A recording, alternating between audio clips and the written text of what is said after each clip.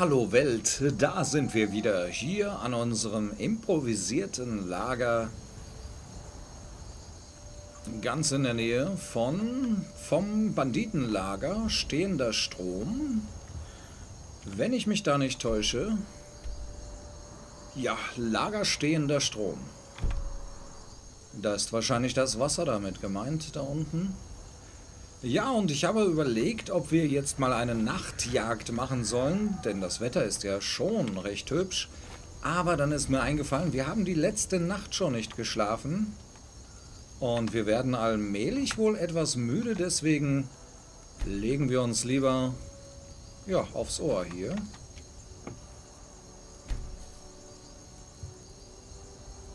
Und jagen dann am nächsten Tag noch ein paar kleinere Tiere.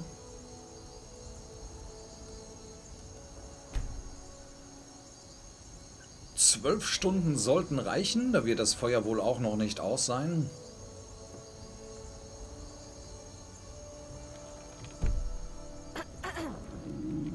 Ja, natürlich haben wir Hunger. Durst haben wir auch. Und wir leben noch. Wir haben die Nacht überlebt.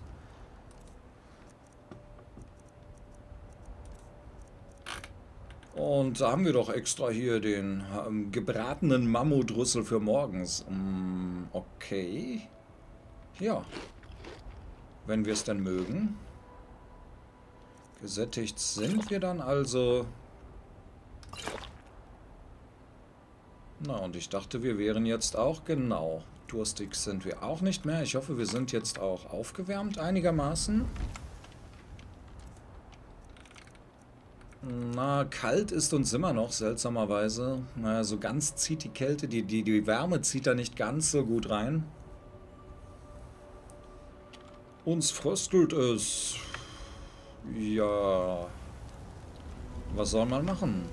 Muss ich ans Lagerfeuer hier, auf, auf das Lagerfeuer setzen am besten. Denn, liebe Welt da draußen, ich würde ganz gerne noch einige kleine Tierknochen irgendwoher beziehen und... Ach komm, Kälte hin oder her. Was ist das?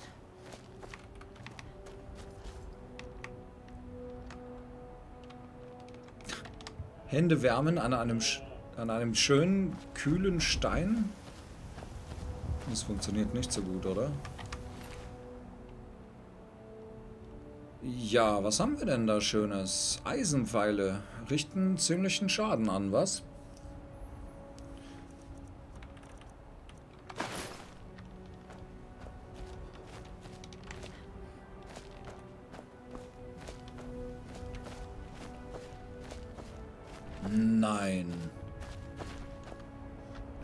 Ochsen da unten etwa die Chimäre geschafft? Also bleibt mir weg mit den Schlammkrabben. So also richtig rennen können wir nicht mehr, aber ich... Jetzt geht's. Wollen uns immer die Hände wärmen, hier am kalten Wasser. Hier wollen wir doch lieber unseren Wasserschlauch mal auffüllen.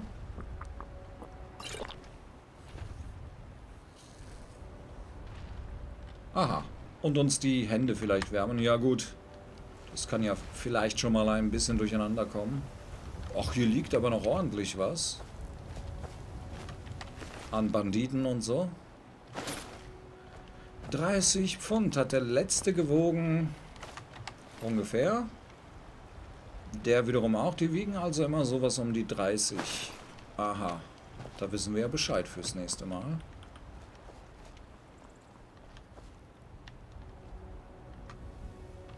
Würde sie das mal lassen, unterwegs immer stehen zu bleiben und sich die Hände wärmen zu wollen? Ich weiß, dass es kalt ist.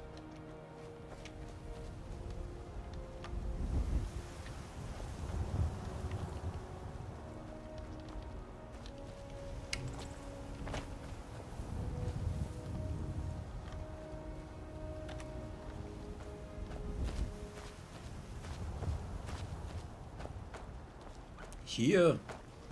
Uah, es ist nur eine Fliege, immer mit der Ruhe. Hier fand doch der große Kampf statt. Ochsen gegen Chimäre. Immer mehr Ochsen kamen gelaufen.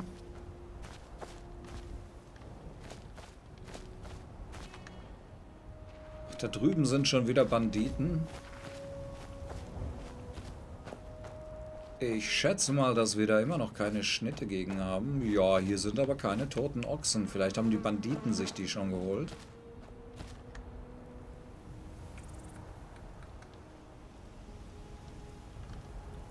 Aha, so sieht's also aus. Vielleicht sollten wir doch noch mal etwas anderes machen. Wir könnten, also wenn wir jetzt durchgehend rennen könnten, dann würde ich gerne die Chimäre... Oh, da liegen die toten Ochsen. Die Chimäre würde ich gerne zu den Banditen locken oder dran vorbei. Die ist auch dahin... Ja, hör doch mal auf damit jetzt. Total verwirrt.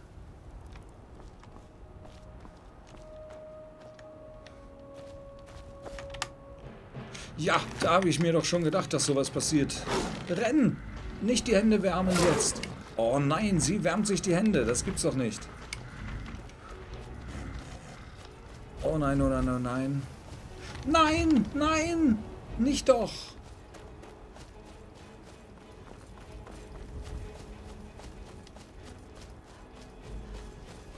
Nein, hör doch auf. Warum macht ihr das denn immer? Da sind Banditen oder sind es Kaiserliche oder Jäger? Kaiserliche, glaube ich. Ach, wir müssen erstmal neu starten, glaube ich. Das läuft ja jetzt auch schon eine ganze Weile.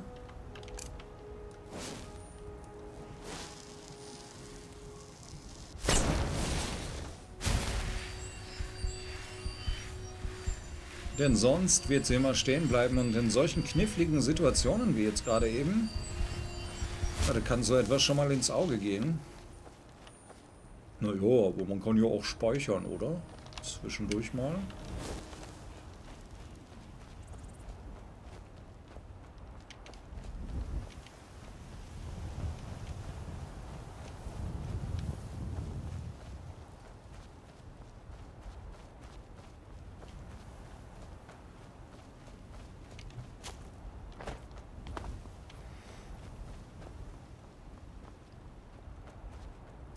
Im Übrigen ist mir, ja, der ist, jetzt ist er zu nehmen. Der Wilderer. Der Troll hat auch noch was. Ach, den haben wir noch nicht ausgeweidet. Hm. Sehr schön, da bekommen wir ja schon wieder 17 Fleisch daraus. Das lohnt sich, aber das ist sehr gut. Und durchsuchen wir ihn noch. Einen Granatstein hat er auch noch. Nochmal durchsuchen. Okay, dann entsorgen. Ach, das mit dem Entsorgen ist auch gar nicht so schlecht. Okay, jetzt könnte sie sich natürlich noch hinstellen und den Troll in kleine Stückchen hacken. Und die Stückchen dann irgendwo, naja, wegwerfen. Damit sich das dann nachher irgendwelche Tiere holen, Füchse oder Raben oder was weiß ich.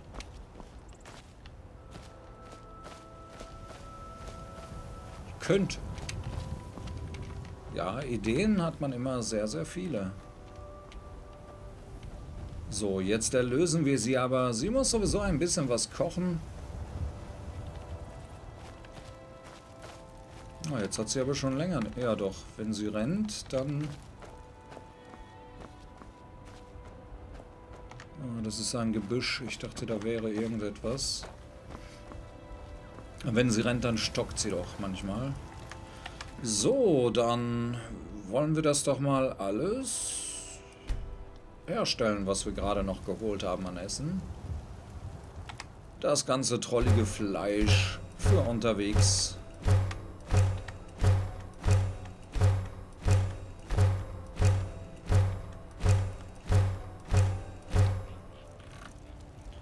Und getrocknetes Fett, Tierfett.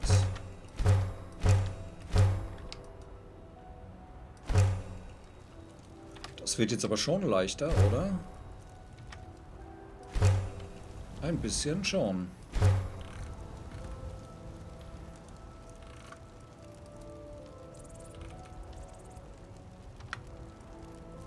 Wie lange brennt das Feuer noch?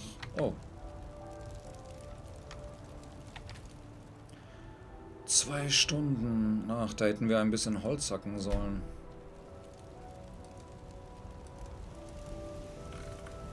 Nachlegen können wir jetzt nicht. Ach, dann wird es halt mal ausgehen. Das ist ja jetzt auch nicht so tragisch. Und was brauchen wir denn noch?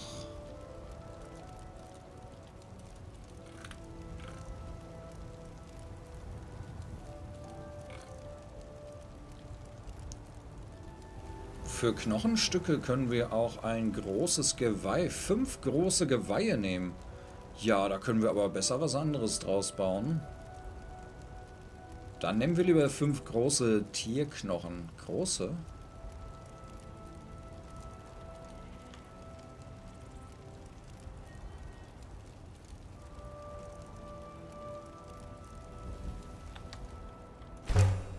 Da, mit dem Geweih, da fällt mir was Besseres ein, was wir daraus machen können. Drei Knochenstücke für Knochenmehl.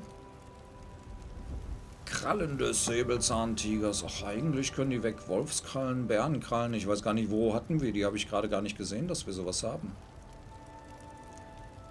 Wie gesagt, die großen Geweihe, die wollen wir für was anderes sonst aufsparen.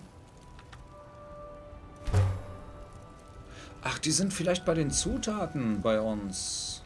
Ah.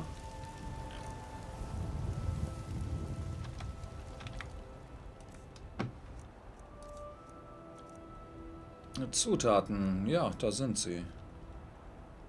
Da weiß aber keiner was mit anzufangen bis jetzt. Versuchen wir mal folgendes. Äh, Mörser und Stößel. Oh nein, oh nein, oh nein, oh nein. Auch wenn wir nicht ganz so viel machen. Wir können uns ja ganz kurz mal umziehen. Und zwar den Trankbrauchring haben wir noch. Ach, da sind wieder so viele Sachen, die wir weglegen können.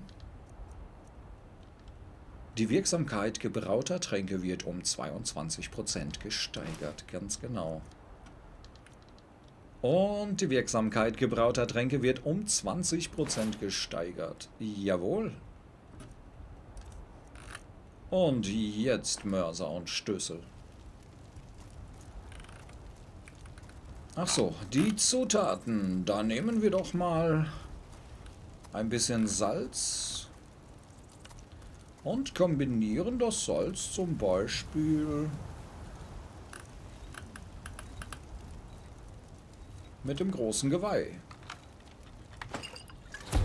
Und wir haben einen richtig wertvollen Trank entdeckt, nämlich Verlangsamen. Entdeckte Effekte. Im Salz der letzte unentdeckte Effekt, nämlich Verlangsamen. Und verlangsamen auch das große Geweih. Das Ziel bewegt sich für 99 Sekunden nur noch halb so schnell. Das wäre für uns sogar richtig, richtig, richtig gut. 99 Sekunden, das wäre auch für die Jagd richtig gut. Aber wenn ich mir so den Preis angucke, ist das auch vom Preis her richtig gut zum Verkaufen. Ja, da stellen wir doch noch mal sowas her. Und wir haben immer noch Salz. Aber was passiert mit den Krallen des Säbelzahntigers? Gar nichts. Schade. Und was haben wir sonst noch? Ah, das mit dem Auge. Wir werden jetzt hier nicht, lieber nicht so rumexperimentieren damit. Verlangsamen, das ist ja interessant. Dann sammeln wir die Zutaten lieber. Ja, wir brauchen den Bogen, Ring und auch die Kleidung, die restliche. Okay. Und Diadem der großen Schießkunst. Was hatten wir sonst noch? Ach ja, Knochenamulett des pinken Mondes. Hm. Ja, und ordentlich Klamotten, die wir hier in unser Jägerversteck reinpacken können.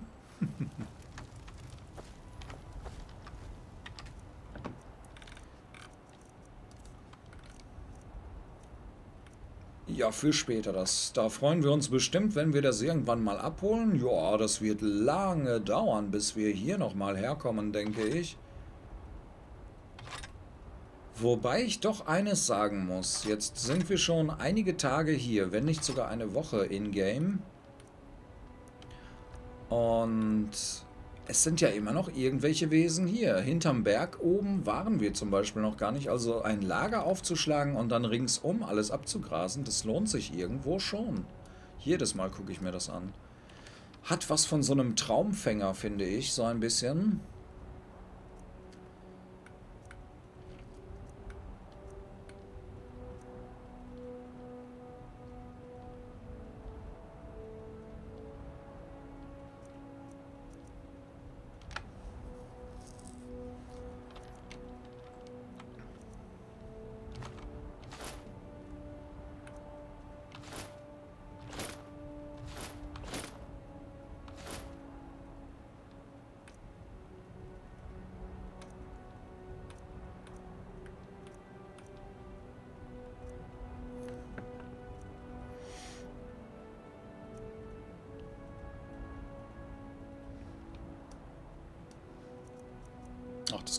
Bestimmt auch erstmal hier reinlegen. Je größer, umso größer ist die Freude dann nachher, wenn wir es finden. Aber umso größer ist auch die Enttäuschung, wenn wir es nicht mehr finden.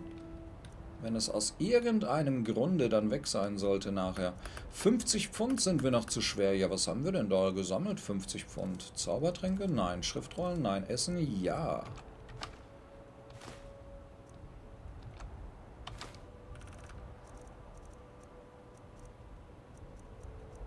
diese Tees, die wirken, die kosten ja auch so einiges. Ja, Essen, Zutaten, da müssen wir mal gucken, was diese Krallen hier überhaupt wiegen. Bärenklauen, ach, die wiegen nicht viel. Da kann man ruhig ein paar von mitnehmen. Der Eckzahn wiegt auch nicht so viel und Skiverfell, Skiverschwanz, gekocht sogar. Wie haben wir das dann geschafft? Das wiegt auch nicht so viel. 0,1 Pfund und hier haben wir noch Menschenfleisch. Äh, 0,3 Pfund Mondzucker. Und so viel Salz. Immer noch so viel Salz. Auch das Säbelzahn-Tiger-Auge wiegt jetzt nicht so viel. 0,1 Pfund. Ja, sowas kann man ja immer dabei haben. Oh, ein Trollauge. Wie sieht das denn aus? Ah, das habe ich auch noch nicht gesehen.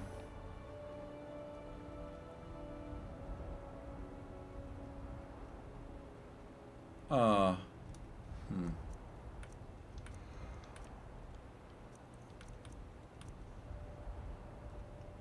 Aha, die Wildschweinhauer, die wiegen aber was. Dein Wolfsauge. Wiegt aber auch nicht viel. Na gut. Dann denke ich mal, dass wir... Oh, wo haben wir die Eisenbarren her? Irgendjemand hatte einen Eisenbarren dabei, scheinbar. Dann denke ich aber mal, dass wir hier noch einige Fälle finden werden. Vom Troll. Ja, diese Knochenstücke, die sind ja schon... Die haben ja Gewicht. Die sind ein wenig schwer, ja.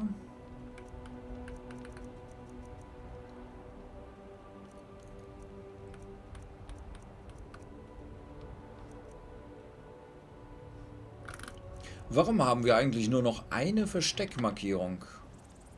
Wie schwer sind wir jetzt? Irgendwas stimmt hier doch nicht. Ach, das geht. Ja, 295. So schwer waren wir bevor wir aufgebrochen sind. Also eine so eine Versteckverzierung, die sollte hier noch rumliegen irgendwo. Wahrscheinlich genau an diesen Bäumen hier.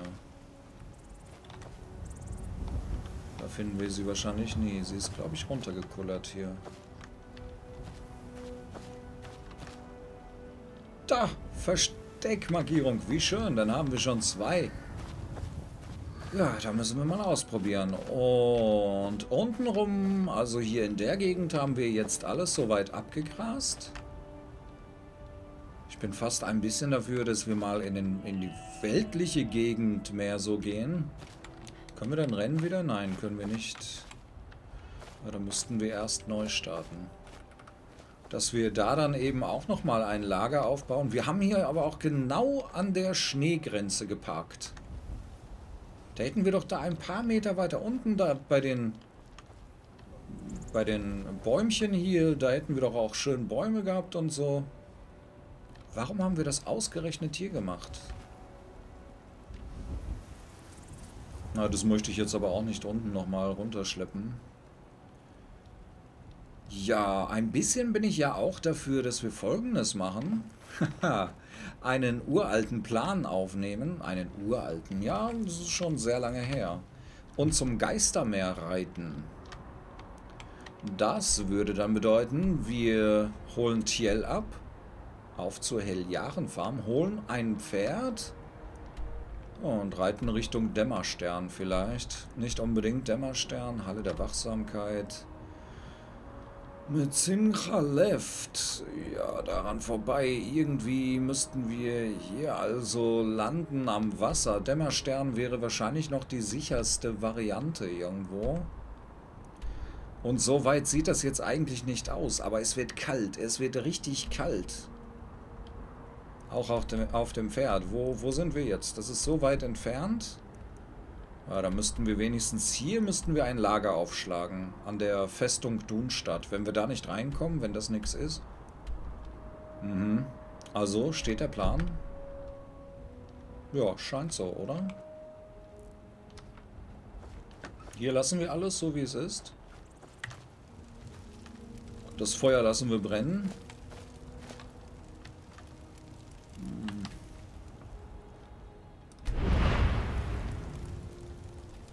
Sieht es denn aus mit unseren Fähigkeiten? Keinen Talent zu vergeben. Okay. Ach, wird das schon wieder dunkel? Ich sehe die Sonne gar nicht. Den Mond sehe ich da schon. Ja, und keinen Talent zu vergeben, leider. Ausschalten. Hm. Pferd holen und los. Ja gut, mit dem Pferd wird es so ein bisschen schwierig jetzt mit, den, mit dem Lager abzuschätzen, wo wir da ein Lager hinbauen müssen. Ah, das schaffen wir schon. Ich tippe mal drauf, dass wir das hinbekommen. Ja, Tiel können wir abholen. Die andere Dame wird wohl weg sein, die Missionarin. Oh, das finde ich dann schon ein bisschen schade. Aber nur ein bisschen. Wir haben unterwegs nämlich noch viele Missionarinnen getroffen. Habe ich Missionarin? Söldnerin wollte ich sagen. Viele Söldnerinnen haben wir getroffen. Ja, hier ist doch alles abgegrast. Das dauert wahrscheinlich, bis da nochmal Tiere wieder auftauchen. Und dann werden wir wahrscheinlich auch keine Lust haben, nochmal dort einzuziehen und länger uns dort aufzuhalten, oder? Ist das da unten Blut alles? Und das sieht beinahe so aus wie Blut. Also wenn das ein Hirsch ist oder... Nein, das ist einfach nur... Das ist ein Gestrüpp. Ja, es ist ein Busch oder so etwas. Eine rote Blume können wir hier mitnehmen. Das ist doch was. Und eine blaue. Und was ist das für ein gefährliches Loch hier? Da sollte man mal irgendwelche Bretter drüber legen oder so. Da können die Leute ja reinfallen. Das ist ja fies. Also, könnte ich Fackeln hier aufstellen, hätte ich da schon welche aufgestellt. So als Warnung. das ist fies. Ist mir noch nie passiert, dass ich da reingefallen bin. Aber ich weiß, wie man da von unten rankommt. Und ich glaube, dass da sogar eine relativ gute Beute ist, zu holen, zu holen ist. Ist das ein Bär, der hier liegt? Ah, das weiß man nicht. Das war vielleicht mal irgendwann irgendwas, aber... Ochsen sind friedlich. Ochsen, friedliche Ochsen, na gut. Oh, was liegt da unten rum? Was, was, was, was, was, was, was? Ein Mammut, ein totes. Und zwar nicht nur eines. Ich glaube, sind das Freunde oder Feinde? Das scheinen mir Jäger zu sein. Freunde also vielleicht. Hey, hey, hey, hey. Ehrlich? So seid ihr drauf. Ihr habt hier die ganzen Riesen abgemurkst. Kann das sein? Ja, wir kommen mal runter zu euch und gucken, ob ihr Banditen seid oder ob ihr ob ihr Freunde seid und ob wir hier was aus dem Mammut mitnehmen können. Uh, ja, okay, jetzt, ja, solange wir das machen können, sind ja keine Feinde in der Nähe. Aufheben, das Mammut. Tatsächlich. Das da sollen keine Feinde sein? Mammut, Mammut, Mammut. Wie viel wiegt ein Mammut-Kadaver? Mammutkadaver. Mhm, dachte ich mir schon. 12.000. Wert. 10.000. Hm, ja, sowas sollten wir uns mal in die Hütte legen irgendwie. Och, bei 10.000 für 10.000 können wir eigentlich da mal rüberlatschen und das mitnehmen. Wann findet man das sonst nochmal? Was ist das denn hier? Ein Riesenskelett. Ein Skelettriese, tatsächlich. Pulverisierter Mammutstoßzahn hat er dabei gehabt.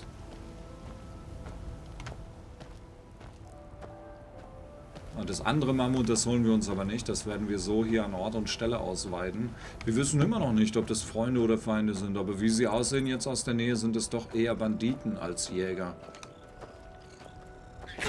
Au! Du! Halt! Wir haben nur Zauber! Ey! Lass das! Woher weißt du, dass wir dich schießen wollen? Spinnt doch!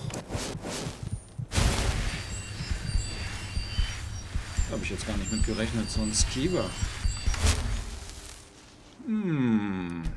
Aufheben können wir ihn natürlich nicht mehr, aber ausnehmen. Oh nein, dann vergeht doch so viel Zeit.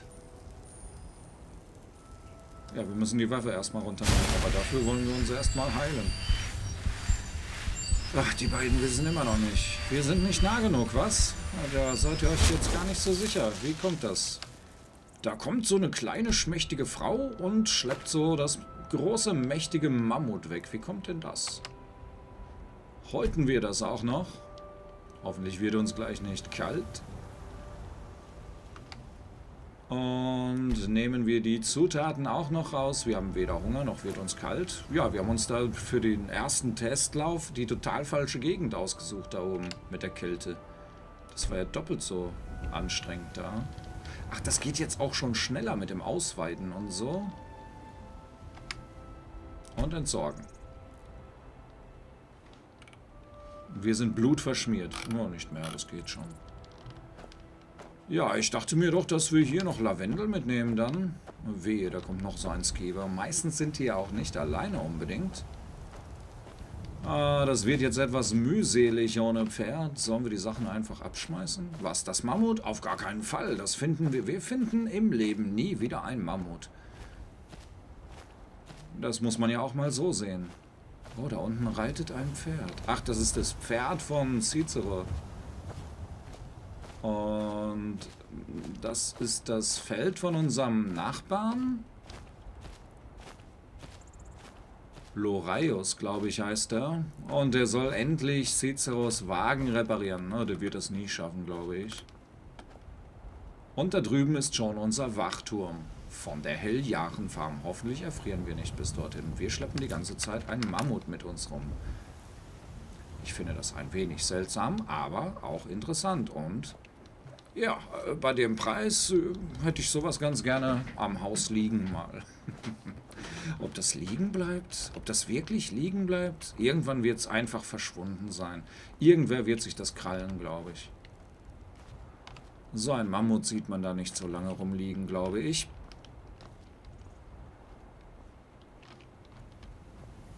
Da, bei euch kommt auch kein Strom mehr drauf hier, was? Weizen meine ich. Was ist das Weiße da? Ach, ihr habt, ihr habt Wildschweine, habt ihr gezüchtet. Ah, warum haben wir das nicht? Ach, wir haben schon genug. Wir haben bald eine Brauerei. Lange dauert es nicht mehr.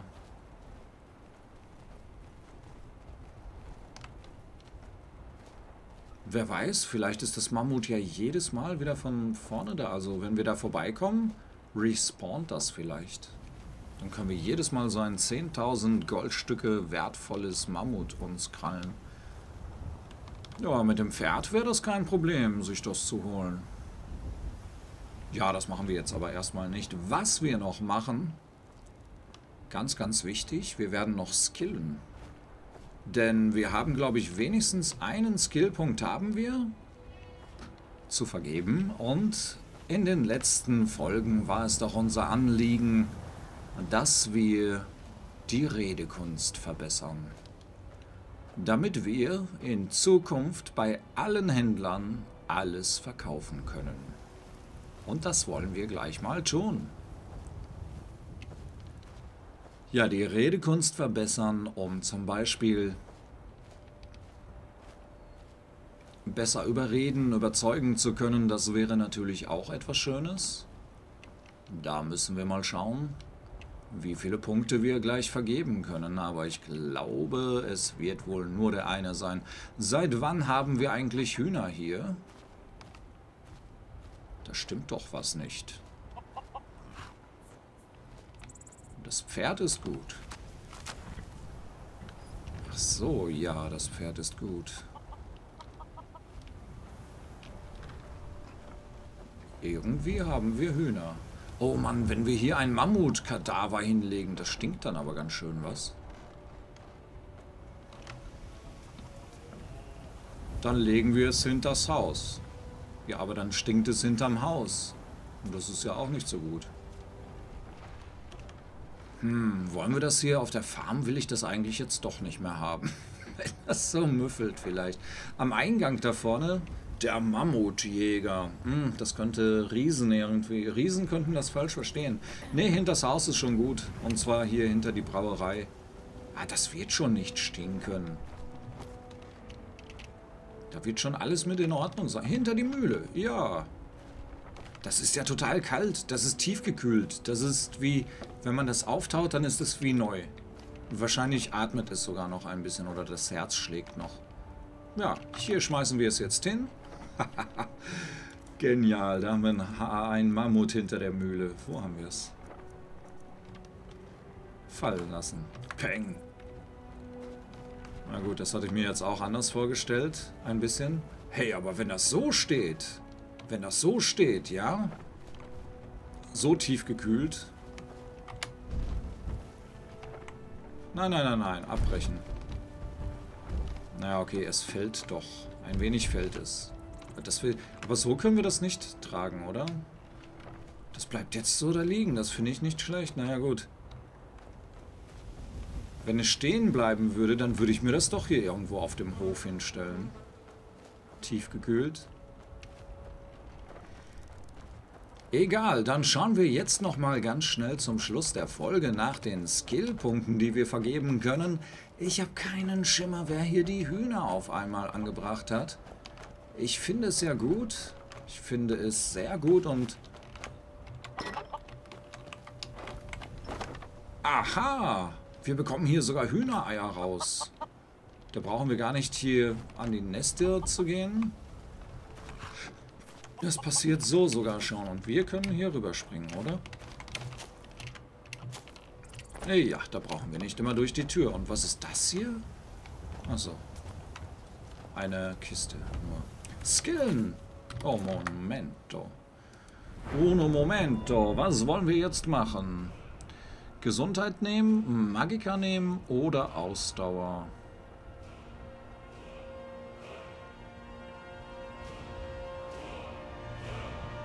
wir mal ein bisschen Gesundheit, oder? Schaden kann es nicht. Ja, was nehmen wir denn dann jetzt? Äh, Redekunst, bevor wir es vergessen. Ja, richtig. Händler, du kannst jeden beliebigen Gegenstand an jeden Händler verkaufen. Wow, endlich. Endlich haben wir es geschafft. Das finde ich gut. Jetzt werden wir auch unsere Zaubertränke richtig los. Und die Pflanzen sind hier alle gewachsen. Dann ernten wir auch nochmal schnell. Und gucken nochmal, wie die Milchproduktion so läuft. über eure Kämpfe wachen. Hier haben wir ein paar rote Bergblumen. Und da wir jetzt um den Tee wissen, sollten wir auch ein paar Violette anpflanzen. Rote, rote, rote erstmal. Hier kommen die Violetten, ja. Hm. Die roten, die, ja, die.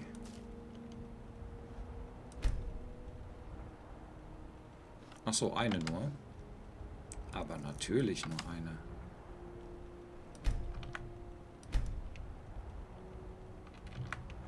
Hm. Rote Bergblume.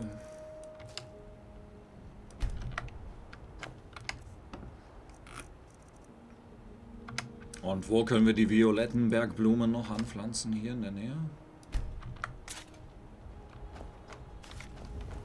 Tundra-Baumwolle.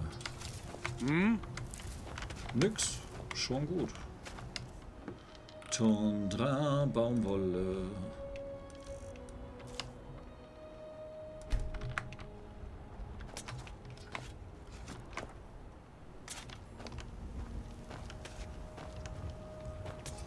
blauen, da die roten. Einen guten Tag wünsche ich. Möget ihr mit einem Schwert in der Hand sterben. Einen guten Tag auch. Und ihr übrigens auch. Wie nett.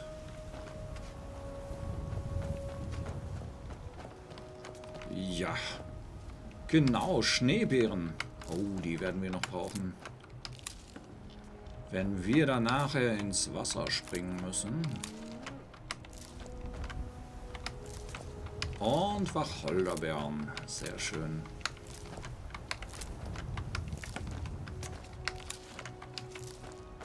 Mhm. Der Weizen ist auch schon reif. Ach was, und hier vorne kann sogar noch welche angepflanzt werden? Ja, warum eigentlich nicht? Weizen werden wir, glaube ich, sehr viel brauchen.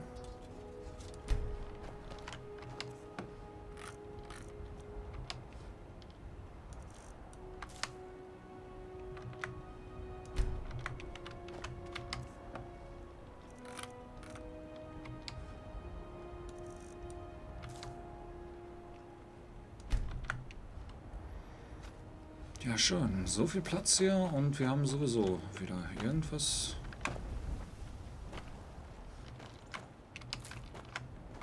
nicht bedacht dabei. Ja, aber das kann man ja immer noch umpflanzen nachher. Das ist ja jetzt nicht so das Ding. Ha! Wir haben sogar mal drei Teile Glockenblume rausbekommen. Durch diese Jägermod. Ja, Finde ich ganz gut. Für uns Giftmischer und Alchemisten ist das doch wunderbar. Hier denke ich mal, könnte man ein bisschen was zu essen, also Kartoffeln, Kohl oder sowas anpflanzen, wobei Kohl, glaube ich, funktioniert gar nicht. Ihr braucht etwas? Hier vielleicht Hä? auch. Ich weiß gar nicht, ob wir Mais anpflanzen können.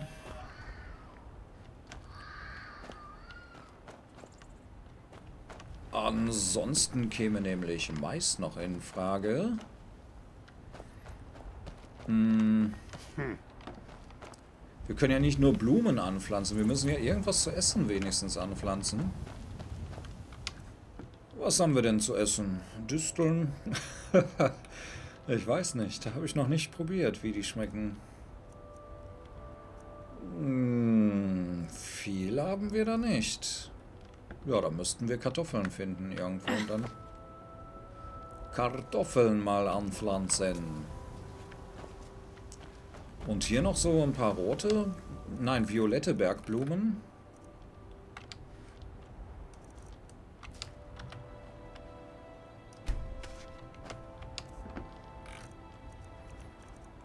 Violette Bergblumen.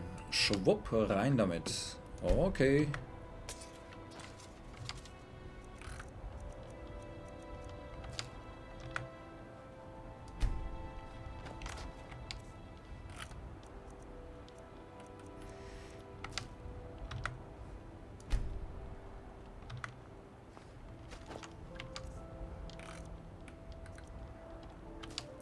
Ja, das ist auch ganz gut, wenn da zwischendurch mal so ein paar Bergblumen sind. Die locken die Schmetterlinge an und die können dann die anderen Sachen bestäuben, denke ich mir. Ja, außer Kartoffeln können wir gar nicht viel anpflanzen. Mais oder sowas gibt es hier gar nicht. Was wollt ihr, kleiner Elf? Ich wohne hier eigentlich, aber ist auch nicht schlimm, wenn, wenn dir das nicht so ganz bewusst ist, dann macht das nichts.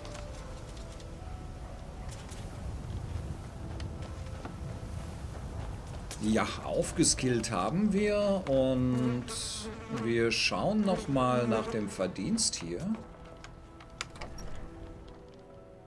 Wie es damit so aussieht. Ach, Tiel, genau. Sie dürfen wir auch nicht vergessen.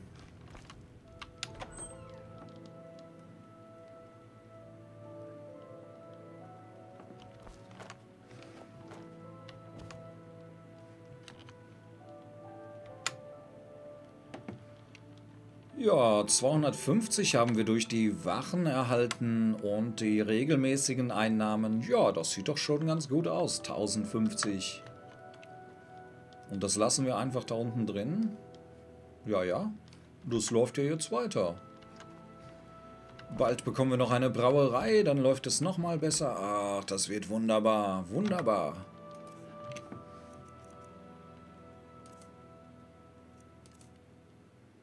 Na, hier unten wollen wir lieber nichts außer das Geld lassen. Rohes Kiewerfleisch. Na, das können wir ja unterwegs dann irgendwie zubereiten noch. Also steht es fest, dass wir in den nächsten Folgen einen weiteren Anlauf nehmen und versuchen zum roten, zum, zum Geistermeer zu kommen. Nicht zum roten Meer. Wie komme ich auf das rote Meer?